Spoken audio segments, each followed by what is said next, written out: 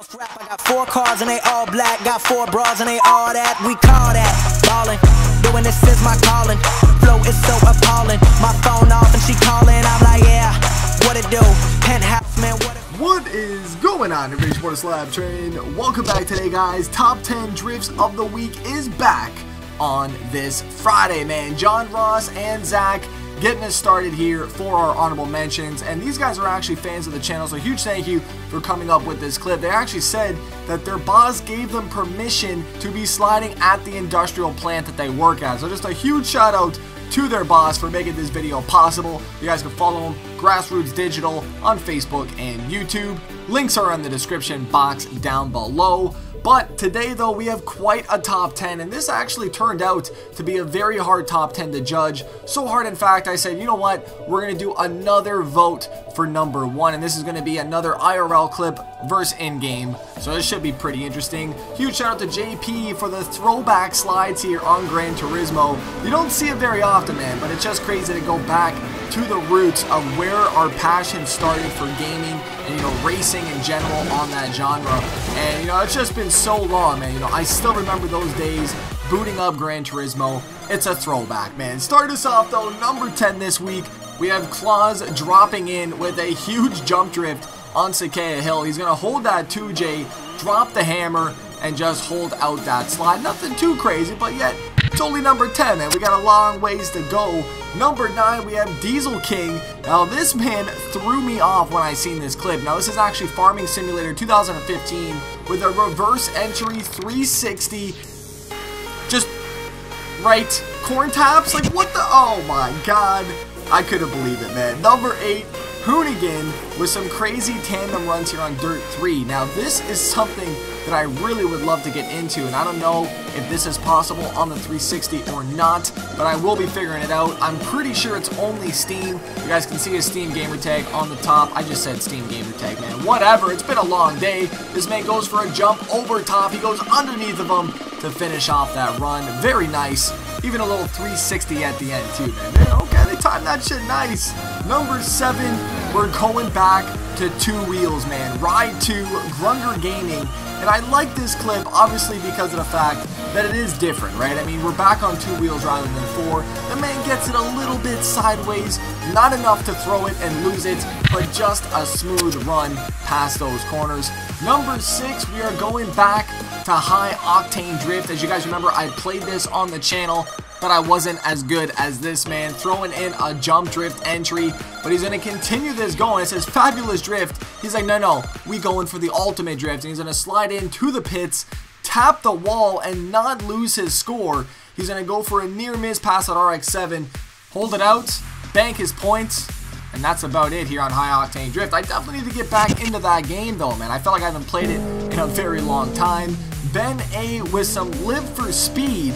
Now, this is going to be a very aggressive first entry with his BMW E28 M5. He's on Blackwood GP, and just have a look on how much angle this man gets. The toe on this is absolutely ridiculous.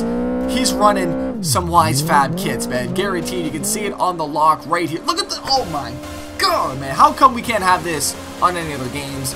Please, these console games need to step up their lock to lock.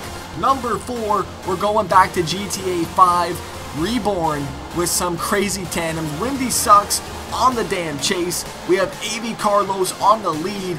We have a GT86 and Chaser throwing down doors here on Sakaya Hill. And I gotta say, uh, I will be back on Reborn very soon. Run will just help me out with a bunch of mods and installing the five Reborn maps again. But these guys are killing a nasty freestyle and they're gonna pull off the same jump drift as we've seen in number 10 today. So I thought that was really cool seeing the Assetto Corsa version and then bringing it over to the Grand Theft Auto 5 version. Either way, they threw down one hell of a run on Reborn. Number 3 this week, Tendo, and if I'm not mistaken, that is D-White-J Media in that lead BMW. And these guys are throwing down a huge jump drift section here on Minami, but I just love the aggressive style of this. We have seen this clip done many times on this same track. However, like I said, it was the style of the clip. You can really tell these guys were going in. They left every everything out on this run, and they even threw in a very nice third-person cinematic run with their third-person action as well, too. Just overall, really, really enjoyed this clip for the aggressiveness, and even did a little free cam action going down. You need a little gimbal support, though, my dude. It's a little shaky now this next clip here on Forza Horizon 3 definitely could have been number one. Like I said, it's so tough to judge, you know, first to third, usually every single week that I do these. However, though, I hope I got this order proper for you guys, and let me know down below. There's a long list of names. I'm going to leave the names up for you guys just to have a look at, but these guys are throwing down one crazy run down this hill. Let's count them out, man. We got two, four, six, we have eight cars going down Blizzard Mountain. And if it can't get any better, they're going to transition on a patch of ice right here. And you can see this back Viper hit it just a little bit. He saves it though, brings it out, and they're going to run this whole run down the mountain. Now this is not the easy thing to do. I mean, try to replicate this yourself with a group of eight guys, and it's almost impossible with everybody going all over the place. I love the way that they finished it. It just came to a crashing halt, but that was a pretty damn crazy run of Forza Horizon 3. Big thing for sending that in. Number one, Blue Linux and US Burn MO. Now, this is going to be a vote for number one. IRL clip versus in-game clip and we're starting this off here with a crazy downhill run here on Assetto Corsa. Now what I really enjoyed about this clip was the camera work. You can see that lead car just ripping it down there, almost 90 on the transition.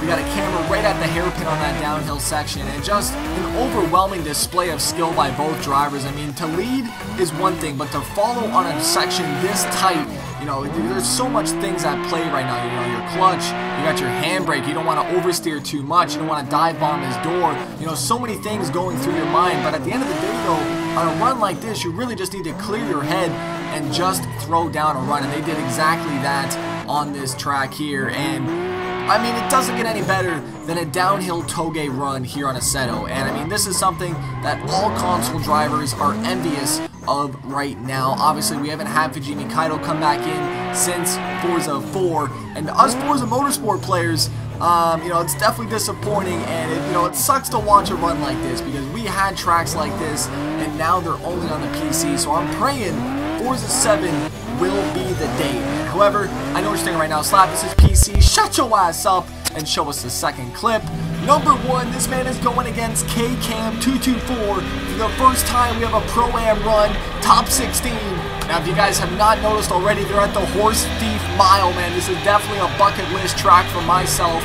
We have an unbelievable follow run here in this S14. I didn't get very much information on this other than it's an LS3 525 crate motor just an unbelievable run here, and I love watching competition runs. There's nothing else like it out there. Ladies and gentlemen, you guys can vote for your winner right now in the description box. There will be a straw poll link for you guys. Mr. Stigglypuffs with a huge edit here on Forza Motorsport 6. This man has been upping his level of editing one video after another. I will leave his full link down below for you guys to check out in its entirety without me talking over the damn thing. Ladies and gentlemen, thank you guys so much for watching once again. Don't forget to slap that like button. Jamoda Slap Train, top 10 drifts of the week. I'm out. Peace. Four cars and they all black. Got four bras and they all that. We call that ballin'. Doing this is my calling. Flow is so appalling. My phone off and she calling. I'm like, yeah, what it do? Penthouse.